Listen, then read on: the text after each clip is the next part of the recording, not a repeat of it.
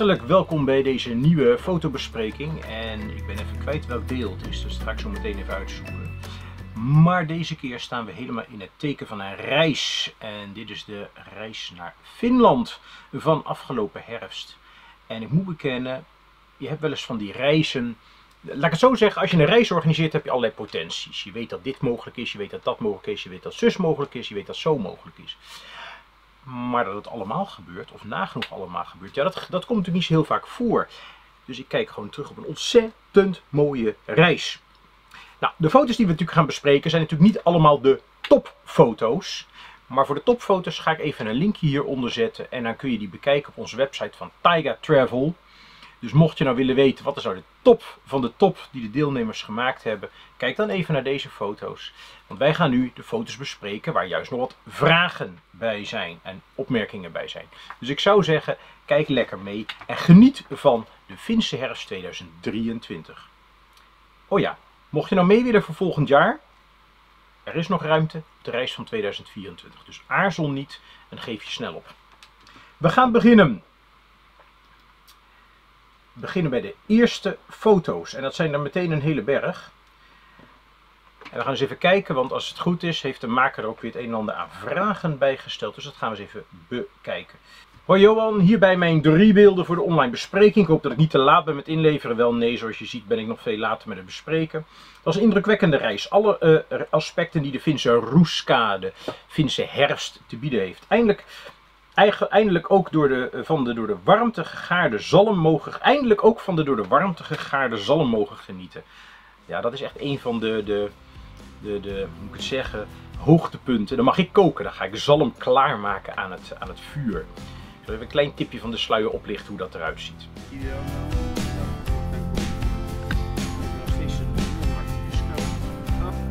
Nou, de zalm hangt inmiddels uh, aan de plank best hard. De wind die doet uh, heel hard zijn best om het vuur enorm snel uh, op, te, op, te, stoken. Ja, dan blijft het op. Uh, ja. Dus, jij offert je op, Jos. Da dank je. Jij offert je op. ja, ja, ja, absoluut. Ja, ja, dat wordt heel erg gewaardeerd, Jos. Ja. Met mu muzikale omlijsting verzorgde Johan. Ja, ik heb tegenwoordig een gitaar in Finland zitten. En dat betekent dat ik ook lekker gitaar speel bij het kampvuur. Heerlijk.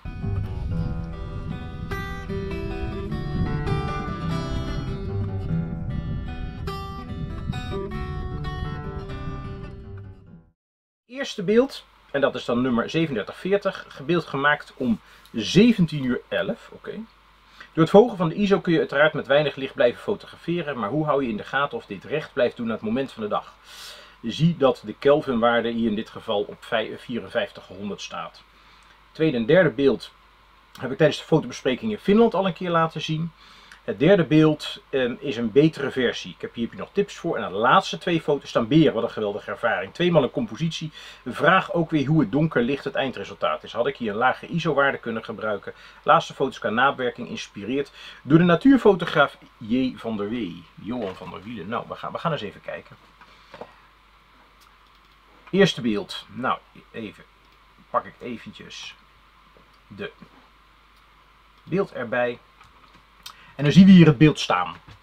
Nou, je ziet, uh, het is, uh, um, het is een, uh, een, een plankierwandeling die we hebben gemaakt. Eigenlijk kwamen we vanaf de andere kant, maar jij was meegereden met Finn.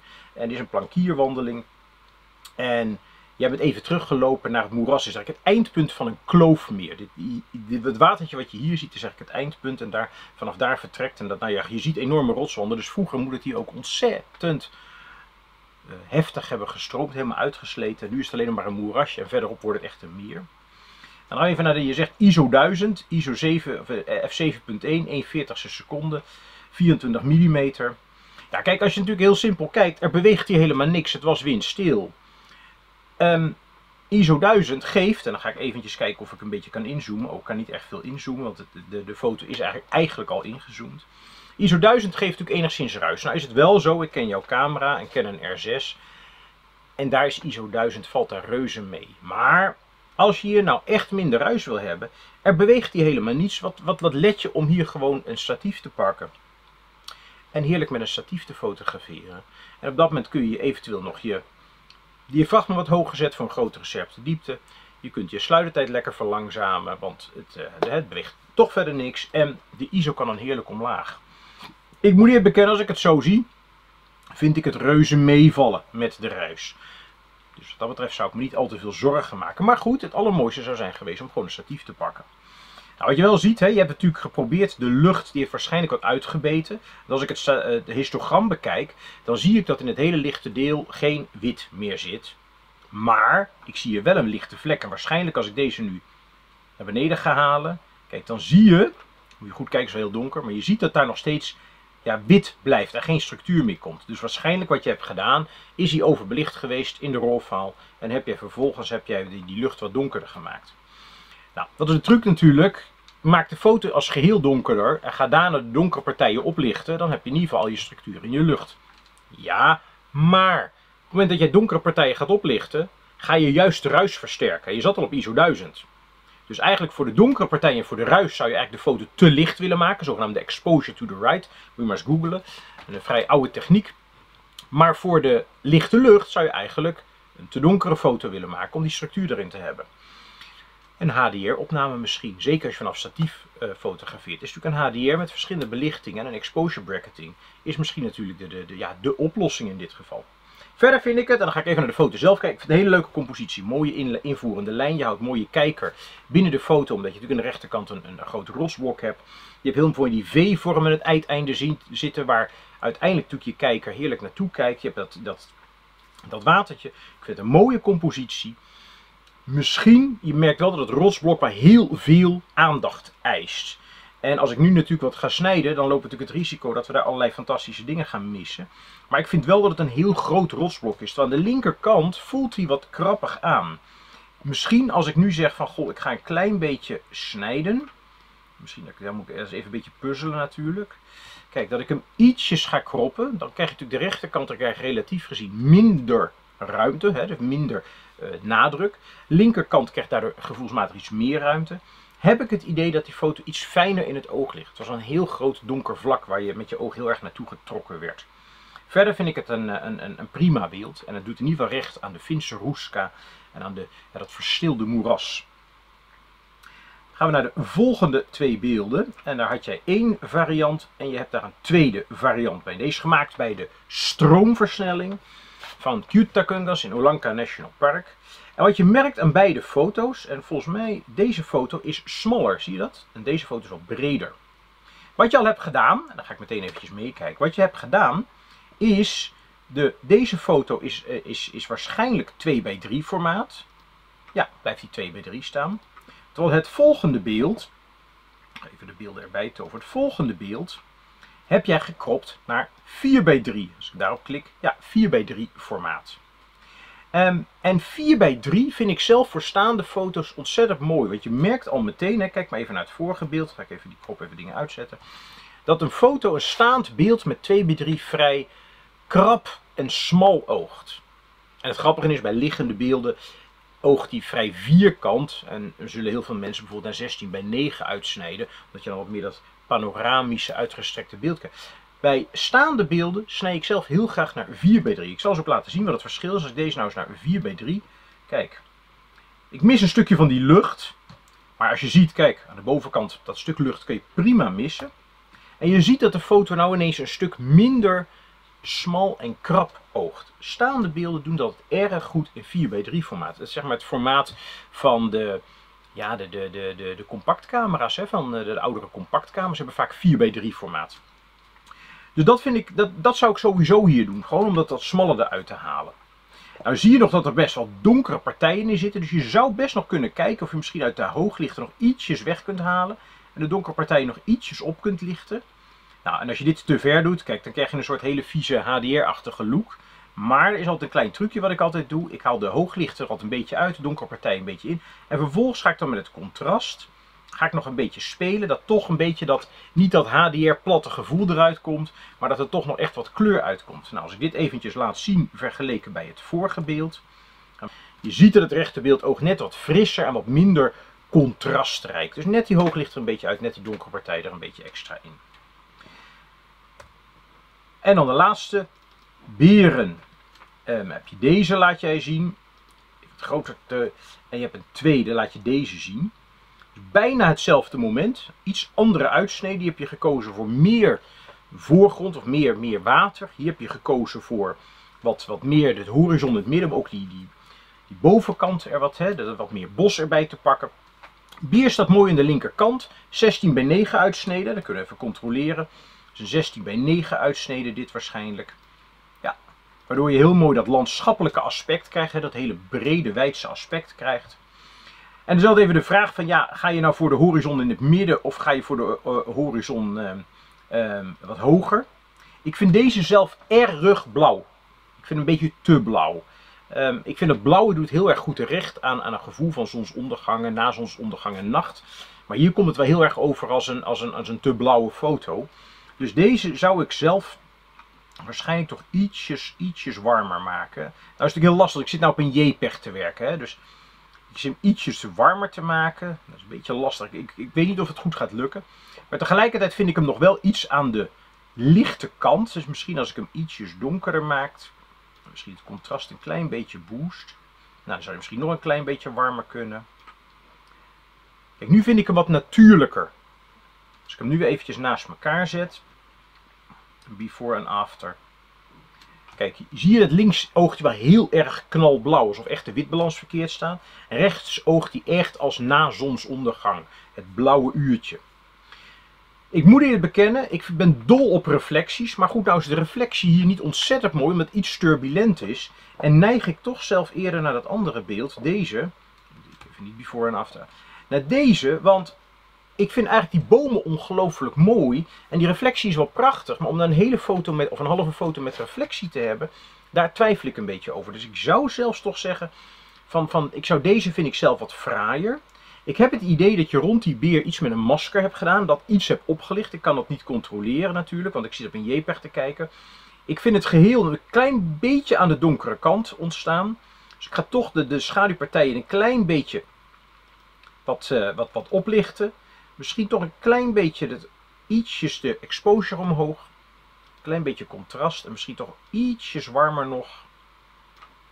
Dan denk ik dat ik hem net eventjes iets frisser vind ook. Nou, zal ik ook deze eventjes naast elkaar laten zien.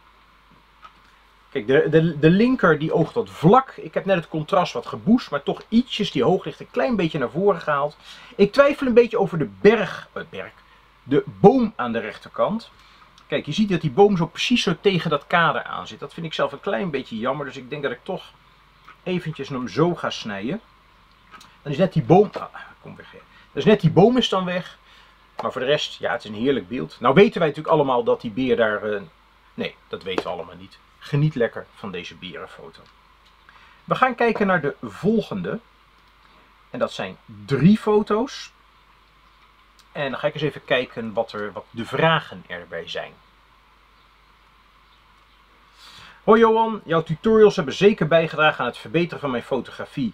Het idee op ze op voorhand te geven vind ik zelf een pluspunt. Het heeft echt de mogelijkheid om alle informatie in je eigen tempo te verwerken. Ik heb er veel aan gehad, ook veel inspiratie in gevonden. Nou, wat ik dus doe bij al mijn reizen en ook waddenweekenden is dat je van tevoren toegang krijgt tot een informatiepagina. En daar staan een hele berg aan tutorials op uh, filmpjes op, videopresentaties, zodat jij je op je eigen tijd kunt voorbereiden. En dat we dus in het veld of in de, op de reis of tijdens het weekend geen tijd kwijt zijn aan tutorials, aan presentaties. We doen wel besprekingen, maar we zijn in ieder geval geen tijd kwijt aan allerlei presentaties. Dus op die manier hebben gewoon, heb jij heel veel tijd om zelf voor te bereiden. Begint de reis ook al een heel stuk eerder dan, uh, dan de werkelijke reis begint. En tegelijkertijd hebben we gewoon heel veel extra tijd in het veld. Bij het uitzoeken van de mooiste beelden voor het fotoboek heb ik er drie uitgegooid. Maar ik ben toch benieuwd wat jij ervan vindt. Nou, we maken altijd een fotoboek. Dat wil zeggen, de deelnemers maken altijd een fotoboek. Ik moet bekennen, eh, nee, ik heb hier zo even niet een fotoboek bij de hand. Maar er wordt altijd een fotoboek gemaakt van de reis. Ook ontzettend gaaf, omdat je dan ziet wat de, de, de waanzinnige uh, beelden van de mensen zijn. En dan krijg je een soort reis door de tijd heen. Van wat we allemaal fantastische avonturen hebben meegemaakt. Drie foto's. De eerste, terwijl ik bezig was met het maken van deze foto, had ik het uh, idee dat er verschillende weerspiegelende vlakken leken op een soort schil schilderspalet. Jammer genoeg moest ik nogal wachten tot alle voorbijgangers gepasseerd waren en toen werden de weerspiegelingen door een zuchtje wind niet meer zo scherp. Nu vraag ik me af of het niet te druk en een rommelig beeld is geworden. De tweede, hier vond ik de herfstkleuren Die ook in de onscherpe. Hier, hier vond ik zelf de herfstkleuren die ook in de onscherpe achtergrond zitten een mooie extra. Maar nu heb ik toch het idee dat iets ontbreekt. Iets moois gefotografeerd, maar toch geen echt sprekende sfeerfoto. En de derde, hoewel ik altijd al het idee had dat er toch niks van bak, heb ik me nu laten uitdagen om aan de slag te gaan met macro. Doe maar. Dankzij focus peaking lijkt het nu niet meer op voorhand al verloren. Bij deze paddenstoelen wou ik absoluut de achtergrond zo vaag mogelijk houden. Maar daardoor hebben ze een- heel beperkt scherpte, scherp randje gekregen. Is het te weinig scherpte, diepte? We gaan even kijken. Even kijken. Ik denk dat je dit bedoelt met het schilderspalet. Met dat zuchtje wind. Ja, ik snap wat je bedoelt. Je ziet, eh, we kijken hier op een rots. En in die rots zitten allerlei plasjes met water, van het hoge water, van de stroomversnelling. En dan zie je dus allerlei reflecties van bomen ontstaan. Ik denk dat als de reflecties scherp waren geweest, dan had je twee werelden. Maar dan had je ook als kijker gezocht naar waar moet ik naar kijken. Moet ik nou kijken naar de scherpe wereld in de reflectie of de scherpe wereld erboven. En doordat het nu een zuchtje wind is en het begint te kringelen en te bewegen, merk je dat de aandacht bij die scherpe bovenwereld blijft. Dus wat krijg je? Dus dat, dat de onscherpte en, en in, in het plasje water, dat wordt een, ja, dat wordt een soort bijzaak erbij. Ehm, wat ik wel erg mooi vind en goed gevonden, als je dat middelste plasje ziet, is dat al die bomen perfect los staan. Dat is een soort, ja, een soort, soort detail, soort perfect, perfectiedetail waar ik ongelooflijk van hou. Daarmee zie ik dat er een kundig oog is bezig geweest om alles perfect te positioneren. Op het moment dat, dat alles tegen elkaar aangeplakt zit, dan heb ik het gevoel dat iemand niet goed heeft zitten opletten. Je ziet ook nog heel mooi dat geel en verderop, hè, dat geel in de reflectie. Dat had voor mij wel iets prominenter mogen zijn. Want dat is natuurlijk een prachtige mooie extra kleur die aandacht kan trekken. Maar die zit nu een beetje tussen de rotsblokjes in. Je ziet ook al schaduwpartijen. En ik kan mij voorstellen, dan ga ik eventjes iets, eh, iets, iets doen wat, eh, ja, waar, waar, waar, je, van moet houden. Oh, nee, ik wilde niet, even kijken, dan gaan we naar, nee, niet transform, ik wilde naar effects. Wat ik zelf misschien wel zou doen in dit geval, is wat vignettering toevoegen. Kijk, je kunt het natuurlijk heel heftig doen, je kunt het ook minder heftig doen. Ik doe het gewoon eens eventjes zo. Dan krijg ik wat donkere randen, donkere hoeken. Op het moment dat ik dan het contrast nog verder iets boost, en ik zou misschien de hooglichten iets meer terugtrekken, dan krijg je een soort spotlight gevoel. Zie je dat? En daardoor krijg ik nog meer de aandacht. Ik merk dat die hoeken, ja, daar gebeurt niet zo vreselijk veel. Dus daar hoeft de aandacht ook niet echt te liggen. Ik zal even laten zien het verschil tussen beide nu. Zie je bij het linkerbeeld in het geel wat aan de vlakke kant is. En het rechterbeeld krijg ik nu dat ik echt zo'n spotlight getrokken word. Maar je ziet ook, en dat valt nu meteen op, dat het rechterbeeld, daar, daar, ik word getrokken naar linksboven. En misschien, ga ik toch eens even kijken, wat zou er gebeuren als ik dit beeld, dan niet, zo, even kijken. Zo, wat zou er nou gebeuren als ik dit beeld zou spiegelen? Zie je nou dat ik echt van linksonder echt naar rechtsboven getrokken word en dat beeld gevoelsmatig veel prettiger kijkt? Dus ik heb die hoeken wat donkerder gemaakt, wat contrast wat geboost en nu merk ik echt dat ik erin gezogen word. nou, het tweede beeld, dat was deze. Ik ga nog even stiekem kijken, want ik ben even kwijt wat je ook weer geschreven had. Terwijl ik bezig... Oh nee, hier vond ik de herfstkleur in de onscherpe achtergrond zitten een mooie extra. Toch het idee dat er iets ontbreekt. Heb ik nou een, spreken, een moois maar geen echt sprekende foto. Dat was het, kijk. Ja, wat ik, wat ik leuk vind in die achtergrond is, is dat de achtergrond is niet scherp. De achtergrond is echt onscherp. Maar tegelijkertijd gebeurt er wel van alles in die achtergrond. En daar hou ik wel ontzettend van. Een achtergrond doet wel mee met de foto. Het is geen onderwerp, het concurreert niet, maar hij doet wel mee. Ik hou niet zo van die foto's met zo'n klinisch vlak aan de achterkant, zo'n egaal vlak. Dus ik vind het enorm leuk dat hier aan de achterkant iets gebeurt. Dus in die optiek vind ik wel dat je echt wel wat toegevoegd hebt. En dat het meer is dan alleen maar een sfeerfoto. Of er iets ontbreekt, vind ik lastig. Ehm, ja, wat je ziet is dat er aan de rechterkant veel zit, aan de linkerkant wat weinig. Ehm, ik kan mij voorstellen dat, dat de balans wat lastig is in deze. Aan de andere kant, snijden wil je ook niet echt. Ja, als ik als eh, iets zou gaan snijden om toch die balans iets, iets beter, dan zou ik misschien zoiets doen bijvoorbeeld. Kijk, dan ben ik in ieder geval dat je, dat, dat je met het grote lege vlak aan de linkerkant wat kwijt bent. Ik kan me hier nog best wel iets bij voorstellen. Ehm, ik moet je bekennen dat, dat, dat dat donkere takje, dat stoort mij een beetje linksboven. Aan de andere kant, als dat weg zou zijn, ja, dan, dan, dan hou je helemaal niets over daar. Dus ik zou hem daar voorlopig maar lekker in laten zitten. Maar het zou wel gaaf zijn geweest als daar ook nog een paar gele blaadjes aan waren, aan waren blijven hangen.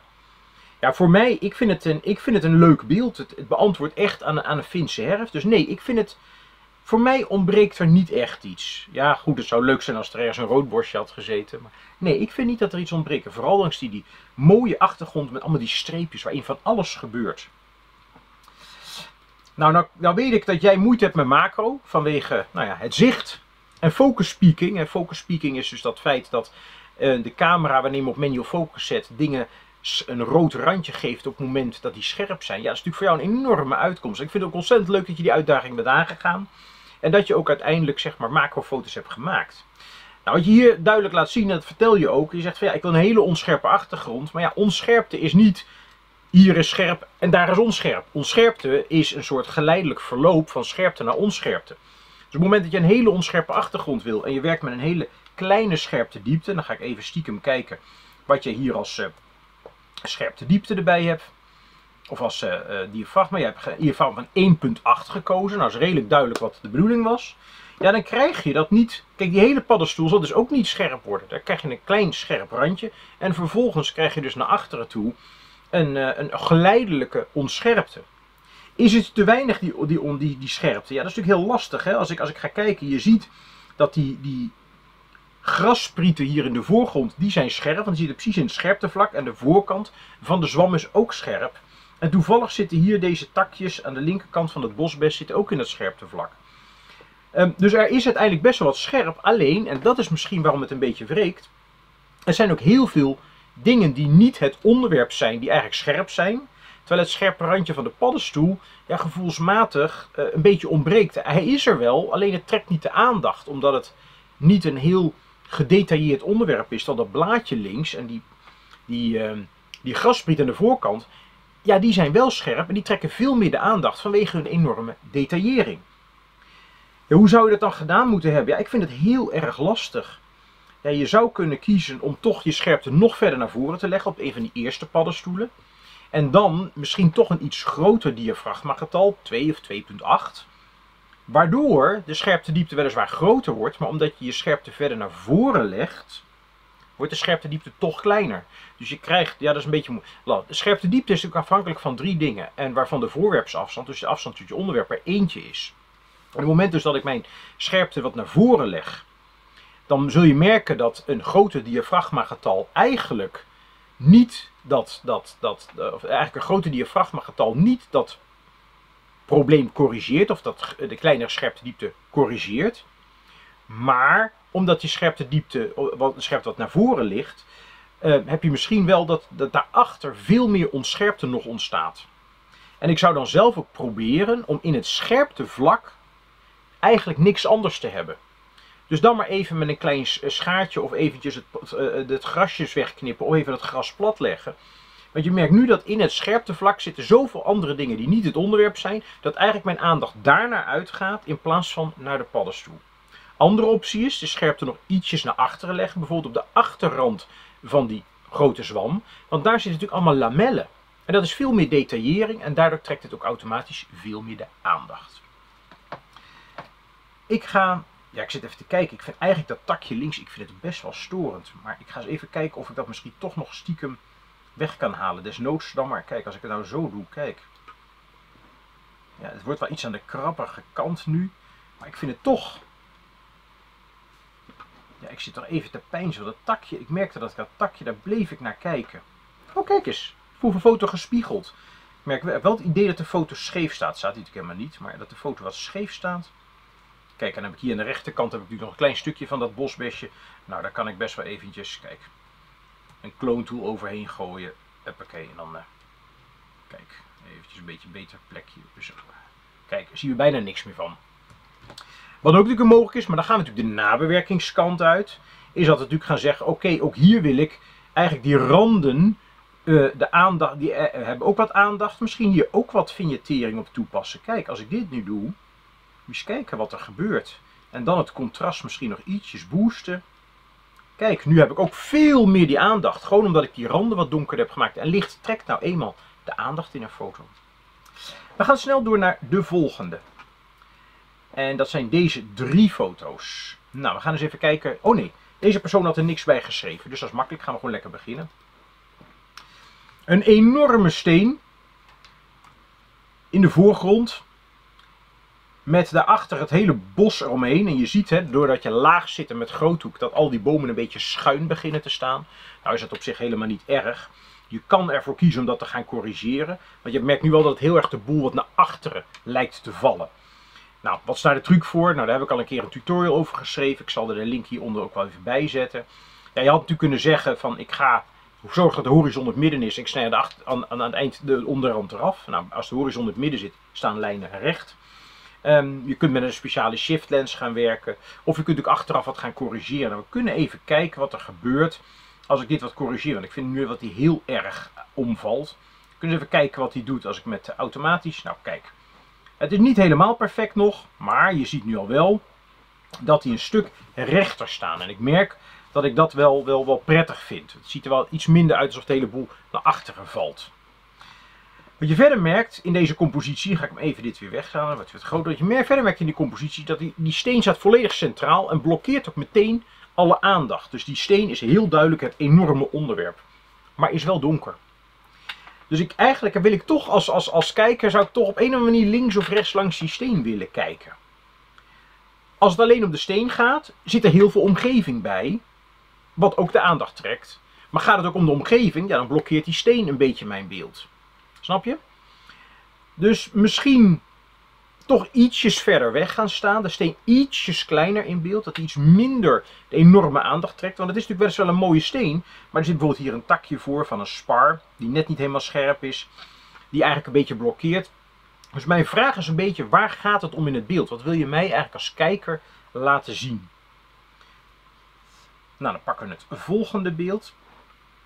Dat is deze. Kijk, een macro-opname van jawel, uh, bekertjesmos. Het is een korstmos en je ziet nog die kleine rode randjes, dat is eigenlijk een soort bloeiwijze.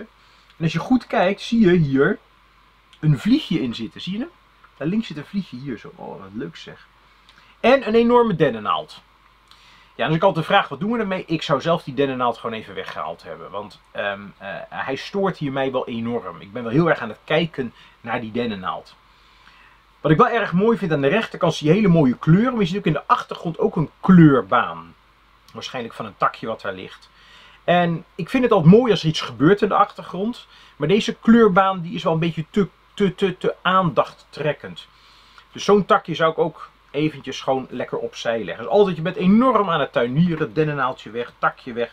Maar uiteindelijk betaalt het zich uit en krijg je een hele mooie compositie. Een hele mooie foto ervan. Verder, ik vind die rode randjes nog steeds het allerprachtigste. En dat vliegje erin, ja, dat is natuurlijk een, een, een, een geweldig iets. Ik denk dat ik zelf deze foto, omdat je zowel boven als onder best nog wel veel ruimte hebt, zou snijden naar 16 bij 9.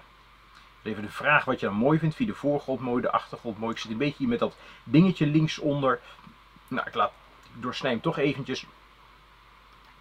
Kijk, dan krijgen wordt hij wat breder van. Nee, ik denk, dat ik, ik denk dat ik toch dat ik hem iets omhoog doe. Zo. Ja, zo vind ik hem mooier. Wordt hij wat breder van, maar je hebt ook een hele brede compositie. Met al die kleine mosjes erbij. Het zijn echt zulke dingetjes. Mijn kinderen noemden dat vroeger Shrek-mos. Omdat het net lijkt op die oortjes van Shrek. Leuk hè? En qua, qua, qua, qua uh, uh, nabewerking. Hij is wat voor mij gevoel aan de lichte kant. Dus ik denk dat ik hem zelf misschien ietsjes donkerder maak. Maar dan ben je de hele hooglichtjes kwijt. Dus die hooglichtjes mogen er wel in. Misschien een klein beetje contrast erbij. Dus kijken wat er dan gebeurt. Wordt er wel heel erg spannend van. Zie je dat? Dus even het verschil laten zien. Even jij weg. Zie je, wordt er wat spannender van. Die, uh, hij is wat minder vlak. En dan het laatste beeld. Dat is deze. Daar ligt een jong rendier. Die ging op een gegeven we zaten op een gegeven moment bij een kudde rendieren. En die kudde rendieren die, die, die, die vonden ons zo ja, niet, uh, uh, moet ik zeggen, bedreigend. Dat ze op een gegeven moment heerlijk binnen zijn bij gaan liggen. Zijn gaan herkauwen. Ze konden daar heerlijk lekker uh, fotograferen. Nou, ik heb net bij de vorige al gezegd, ik vind zelf 16 bij, of 2 bij 3, vind ik wat aan de hoge en de krappe kant. Maar hier vind ik het eigenlijk wel heel leuk, omdat het daarmee die hoogte van die bomen enorm benadrukt. Dus ik vind het heel, die bomen vind ik prachtig, echt al die stammen naar boven, dat rendier erin. Het enige wat ik merk is dat rendier zou voor mijn gevoel de andere kant uit hebben moeten kijken. Dus um, ik vind de compositie prachtig als het rendier maar net even gespiegeld was geweest. Misschien zou het een idee zijn geweest om een paar stapjes naar links te doen en het rendier aan de rechterkant in het beeld te zetten. Ik weet niet of dat had gekund. Ik zie daar wat takjes in de onscherpte, dus waarschijnlijk zitten daar wat dingen voor. Maar ik zou zelf hebben gekeken om het rendier, omdat het naar links kijkt, rechts in de foto. Hij kijkt nu de foto uit. En dat is gewoon zonde. Maar, nou ja, zonde. Het, het had het helemaal geperfectioneerd. Maar verder vind ik het een ontzettend leuk beeld. Ook deze foto mag overigens van mij best wel ietsjes meer contrast hebben. Kijk eens, moet je eens kijken als je er wat een klein beetje contrast tegen aangooit. Misschien de kleuren een klein beetje. Je kijken wat dat dan meteen voor een, een, eh, een boost geeft. Zie je, wordt, oh, even, hij wordt wat minder vlak ervan. Dus ik denk, ik denk dat het een hele mooie meerwaarde is. Overigens zet ik ook alle foto's before en after ook weer op mijn website. En ook daarvan komt hier weer een link onder. Of als je op mijn website zit te kijken, scroll even naar beneden. En dan zie je alle foto's before en after. Je weet inmiddels van mij, het is niet zo dat als ik bewerk dat dat de beste bewerking is. Het is wat ik eraan zou doen. En zie het slechts als inspiratie, maar je hoeft het er absoluut niet mee eens te zijn. Dan gaan we naar de volgende. En dat zijn deze twee foto's. We gaan eens even kijken wat erbij geschreven staat. Hoi Johan, bijgaand twee foto's voor de bespreking. In de foto met de paddenstoel heb ik geprobeerd gebruik te maken van isolatie, licht en contrast in kleur, in, kleur voor macro opdracht op de rustdag. Oh ja. En de tweede foto wilde ik graag sfeer van deze gekleurde blaadjes op de foto zetten. Maar ik vond het lastig om de rust in het plaatje te krijgen. Het was nogal druk op de bosgrond. Dus de paddenstoel, isolatie, door kleur. Nou, dat klopt natuurlijk ook. Het paddenstoel heeft echt een afwijkende kleur op zijn omgeving. Contrast, ja, er zit echt wel wat licht-donker contrast in. Scherpte natuurlijk. Toch merk je dat het nog druk blijft op die achtergrond. En wat in zo'n geval altijd de truc is, want je gaat dus kijken, die achtergrond volgt eigenlijk nog vrij abrupt kort op je onderwerp. als je eventjes, eh, stel dat dit even de paddenstoel is, op het moment dat ik zo kijk, ja, ik kijk zo naar die paddenstoel, ja, dan is dit de achtergrond. Op het moment dat ik wat door mijn knieën gaat en ik ga zo kijken naar die paddenstoel. Kijk, wat is dan de achtergrond? Ja, dat ben jij pas. Dus wat ik in dit geval zou doen, is nog iets lager. Probeer nog wat lager. Hoe lager je gaat, hoe verder weg die achtergrond komt. Want je gaat meer parallel aan de bosgrond fotograferen. Hoe hoger je zit en je merkt dat je nog iets boven op de hoed kijkt. En dus krijg je er schuin op en volgt die bosgrond dus ook veel sneller. Even kijken wat je aan instellingen heb uh, gedaan. Nou, je hebt hier 200, uh, 280 mm, enorm ingezoomd. Dat is enorm scherp. Je verklein het 5.6, waarschijnlijk de laagste diafragmagetal die in dit geval mogelijk was. Ga ik eventjes vanuit. En uh, 1 15 seconde, dus je lag lekker doodstil. Dus in feite heb je er echt wel alles aan gedaan de scherpte diepte te verkleinen. Nou heb je natuurlijk wel de mazzel dat je natuurlijk een enorm licht-donker contrast hebt. Dus op het moment dat ik deze foto gewoon wat donkerder zou gaan maken, kijk wat er dan gebeurt. En ik zou dan de hooglichtjes ietsjes terugbrengen. En het contrast nog verder wat boosten. Kijk wat er dan gebeurt. Dan ben ik alleen maar het aanwezige contrast, licht-donker contrast, nog verder aan het uitbuiten. Die achtergrond wordt donkerder. En omdat die donkerder wordt, trekt hij minder de aandacht. En is het minder storend dat daar zoveel informatie in zit. Hij wordt wat, wat mysterieuzer, wordt wat sfeervoller. Laten we eens kijken naar het verschil tussen beide. Kijk, het linkerbeeld oogt heel erg licht en het rechterbeeld merk je dat hij veel spookier, veel ja, spannender wordt. En ook dat de achtergrond veel minder de aandacht trekt. Het grappige is, als de hele foto donker wordt, dan wordt het lichte deel ook donkerder, maar toch lijkt het veel meer aandacht te trekken en het contrast veel groter te zijn als de hele foto lichter is. Dus in dit geval kun je er altijd nog mee spelen. En gebruik je het licht-donker contrast om die achtergrond nog ietsjes weg te drukken. Zonder dat die onscherper wordt. Nou, de tweede foto heb jij, eh, dan eh, stel jij jezelf de vraag van, goh, ik vond eh, die, ehm, ehm, ja, waar ben je nou? Oh, wacht eventjes. Nou ben ik mijn foto kwijt, dat is natuurlijk niet de bedoeling. Daar ben je, kijk. Is het te rommelig, die achtergrond? Nee, vind ik niet. Wat ik heel mooi vind is die herhaling van dat rood in de achtergrond. Wat je wel merkt, is dat achter dit rood hier in de voorgrond, wat heel mooi scherp is, dat daar ook nog rood in de onscherpte achter zit. Dat zit er een beetje tegen aangeplakt. En dat zou ik proberen te voorkomen. Probeer dat soort dingen los te krijgen. Dus het rood in de achtergrond, een los element van het rood in de voorgrond. Waardoor je, ah, nu zitten ze eigenlijk allebei een beetje naar het midden. Dan kun je ze wat uit elkaar trekken, waardoor je wat mooiere vlakverdeling in het hele filmvlak krijgt. En je voorkomt, wat hier dus in het midden gebeurt, dat eigenlijk scherp en onscherp tegen elkaar aangeplakt zit. Dus zorg dat die onderdelen los van elkaar komen. Ook daar heb ik een tutorial over geschreven en ook daarvan zal ik de link even hieronder neerzetten. Zorg dat onderdelen los van elkaar komen. Verder vind ik de kleur in de achtergrond erg mooi. Het is onscherp, maar tegelijkertijd ook weer niet zo onscherp dat, uh, dat ik helemaal niks meer zie. Er gebeurt toch wat van alles in die achtergrond. Dat vind ik erg leuk. Dan zou je overigens ook hier, denk ik dat als ik hem ietsjes donkerder maak. En kijk, ook daarmee kun je het nog ietsjes boosten. Nou kun je natuurlijk de truc toepassen door het rood wat naar voren te halen. Nou, dat zijn dingen die ik allemaal niet ga doen. Je kan zelf zeggen in deze, ik pak een klein beetje vignettering erbij. Waardoor ik ook nog ietsjes meer die aandacht krijg naar dat midden toe. En als ik nu het verschil tussen beide laat zien,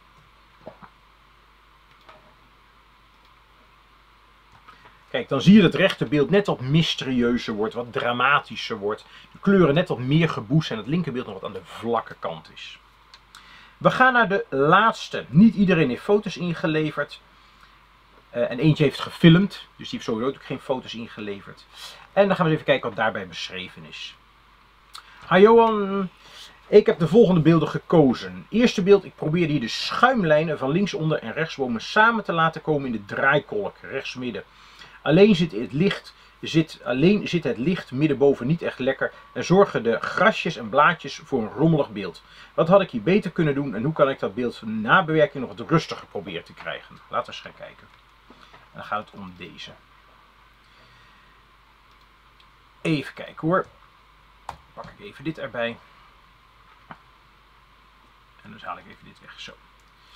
Schuimpatroon, prachtig mooi schuimpatroon natuurlijk in. Schuim loopt verder naar achteren. Ja, die grasjes, die grasjes zijn geen grasjes, maar zijn natuurlijk uh, blaadjes. Um, ja, wat ik altijd, wat ik moeite mee heb, zijn dingen die zomaar afgesneden zijn.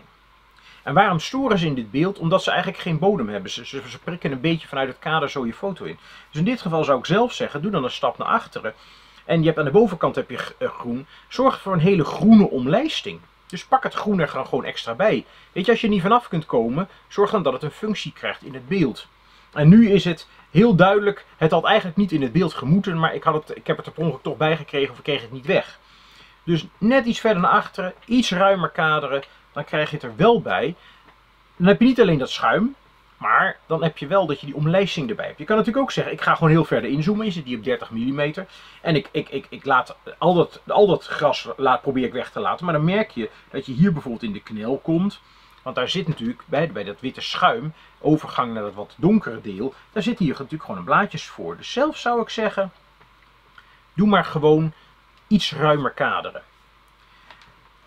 Verder vroeg jij, ja, wat, hoe zou ik het wat rustiger kunnen krijgen in de nabewerking?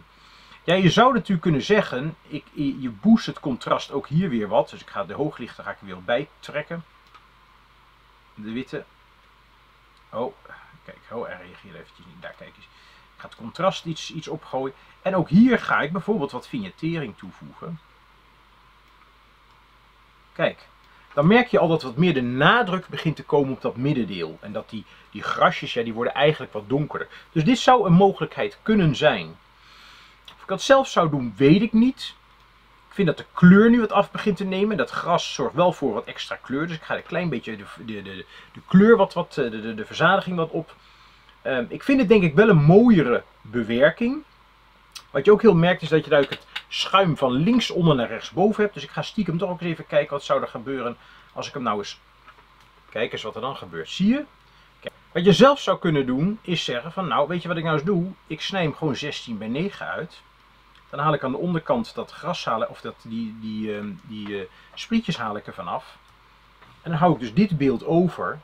Waardoor ik, en dan vind ik de vignettering eigenlijk op dit moment een beetje te veel worden, ze halen het een beetje weg. Waar je op dit moment eigenlijk dat, dat, dat, dat die, die groene elementen kwijtraakt en je puur focust op die lijn die erin zit. Dus even kijken naar het volgende beeld, dat is deze. Dus even kijken wat je daarbij geschreven hebt. Ik probeer die de gele boom in de verte te combineren met de dynamiek van stromende rivier in de voorgrond. Ik vind het grasjes en de boom rechtsvoor wel aardig, evenals de stroming rondom de polletjes en de steentjes. Ook de, lang, de lage structuur van het meer eh, is wat ik voor oog had. En toch, het oogt allemaal wat vlakjes zonder veel dieptewerking. Wat had ik kunnen doen om meer dieptewerking en daarmee de foto wat spannender te krijgen? Nou, we gaan eens even kijken. Ja, die dieptewerking zit natuurlijk in het feit dat je niet alleen lagen hebt, maar ook een gevoelsmatige wandeling kunt maken door het beeld heen. En je ziet dat heel veel dieptewerking in het eerste stuk zit, want je ziet echt al die polletjes achter elkaar. Maar daarna heb je een vlakte water en daar zie je wel reflectie in, maar eigenlijk heb ik geen flauw idee bij hoe groot die vlakte is. En dat wordt onder andere benadrukt door de gekozen brandpuntsafstand hier. Je hebt hier gewerkt met 116 mm, dat is een telelens en alles voelt ook telen aan. En telen drukt lagen in elkaar. Een telelens zorgt ervoor dat lagen, hè, dat die perspectivische verkleining, wat ons oog eigenlijk als, als diepte herkent, dat dat in dit geval eigenlijk teniet wordt gedaan. Dus je bent eigenlijk die, die, die, die, die gevoelsmatige dieptewerking bij je kwijt. Wat groothoek enorm ver, extra maakt, enorm vergroot, ben je met een telelens kwijt. En dat zorgt ervoor dat dingen vlak worden. En sterker nog, dat ze bijna boven elkaar lijken te liggen in plaats van diepte. Dus wat had je kunnen doen? Ja, als je die boom zo groot had willen hebben en die, die, die voorgrond, hè, dat je deze verhouding had willen hebben, ja, dan zit je aan deze brandpuntsafstand toe. Maar je had natuurlijk misschien ook kunnen besluiten om wat dichterbij te kruipen, als dat mogelijk was geweest. Ik vermoed dat je hier vanaf de brug aan het werk was, maar dat weet ik niet zeker. En iets verder uitzoomen. En hoeft niet meteen naar groothoeklens, maar als je al naar 50 mm was gegaan, 50 mm is natuurlijk de lens die wij ook in ons oog hebben zitten, waardoor wij veel meer de, de perspectief beginnen te herkennen. Was die boom wel kleiner geworden, maar had je veel meer diepte gehaald. Je bent die diepte dus aan het kwijtraken door het gebruik van de uh, telelens. En, tweede punt, ook omdat er eigenlijk na afloop van, ja, dat, dat onder, halverwege de foto, daarna is er geen doorlopende lijn meer naar achteren. Daar zitten geen stenen meer in de achtergrond, waardoor ik het gevoel heb hoe diep de, of hoe ver dingen zijn. Het is ineens een los vlak geworden. Dus ik heb geen enkel gevoel bij de grootte van dat meer. Ik mis in feite mijn midden. Dan gaan we naar de laatste foto. En dat is deze. En dan ga ik even kijken wat jij daarbij gevraagd hebt. Ik probeerde hier de dynamiek van de rivier te vangen met lijnen die vanuit de waterval stromen, dan wel samenkomen. Plus door de avondzon verlichte bomen met als toetje een mooi zonnester door de bomen op de rechte oever. Op zich staat het erop. Waarbij de zonneter niet zo duidelijk werd als ik hoopte. Maar hij mist iets, ik weet niet wat. Om het echt een mooie foto te maken. Wat zou jij hier anders hebben gedaan? Ik zal eens even kijken. Ja, wat, wat je hier merkt, en ik ben zelf ook aan het worstelen geweest met, met deze foto, is dat vooral dat enorm grote donkere vlak aan de overkant enorm de aandacht trekt. Ik ben ook aan het worstelen geweest hiermee. Ik ga mijn eigen foto er niet bij. Uh, uh, als je die wil hebben, dan moet je me even op mijn website zoeken. Of hieronder bij de link kijken naar de website van, de, van Tiger Travel. Maar wat zou je kunnen doen? Ik zelf denk dat de hoeveelheid licht en kleur heel erg weinig is ten opzichte van een heel groot vlak stroom en heel groot donker vlak. Ik snap dat je de voorgrond die stenen bij wilde hebben. Maar ik denk wat ik zelf hier gedaan zou hebben is een enorme bende snijden. Daarmee raak ik die mooie dynamiek rechtsonder raak ik kwijt. Dat is zonde. Maar ik denk dat ik bijvoorbeeld zoiets zou doen. En nu heb ik het idee dat de foto, ga ik even dit weghalen, dan zie je wat meer. Dat de foto veel meer in verhouding staat. De foto staat veel meer in verhouding tot, tot, het, tot het hele geheel. De foto staat nu veel meer. Het lichte deel komt naar voren, het zonnesterretje wordt wat duidelijker en het donkere vlak wordt wat, wat rustiger. Het donkere vlak is niet meer zo vreselijk donker. En trekt wat minder de aandacht. Natuurlijk kunnen we altijd nog even kijken van, goh, ik gooi net eventjes de, de, de schaduwpartijen wat omhoog. De lichte partijen wat naar beneden. Klein beetje contrast erin, misschien nog ietsjes de kleuren wat boosten. Misschien zelfs de witbalans ietsjes koeler zetten. Kijk, en dan krijg ik een heel ander beeld. Als ik deze twee eens even naast elkaar zet. Kijk, krijg ik een heel ander beeld waarbij de kleuren gewoon veel voller worden. En dat donkere, ja, dat eindigt, eist ongelooflijk de aandacht. Komt bijna onheimisch aan. En bij de rechterfoto nu niet. Dan hoor ik je al denken, ja, Johan, ehm, ik zie daar wat. Ja, ik ook. Ik zie daar twee mensen daar lopen. Zie je ze ook lopen? Daar, daar links, daar, daarboven zie ik ze lopen. Dus misschien dat ik nog eventjes zou moeten snijden, zodanig dat die twee mensen net buiten mijn beeld zitten. Ik denk dat dat wel een meerwaarde is. Volgens mij was dit de laatste foto alweer, ja. Hey, dit was de fotobespreking van de Finland Herfstreis 2023. Als je wil weten hoe de foto's, de mooie foto's zijn, kijk even op de website van Tiger Travel. En wellicht, hopelijk zie ik je volgend jaar op deze waanzinnig mooie reis met Noorderlicht. Ja, we hebben Noorderlicht gehad, maar die zitten niet in deze selectie. Blijkbaar waren die hartstikke mooi van iedereen. Met herfstkleuren, met beren, met rendieren en natuurlijk met zalm van het vuur. Dus wellicht hopelijk tot volgend jaar. En anders in ieder geval heel veel succes met je fotografie. Tot ziens.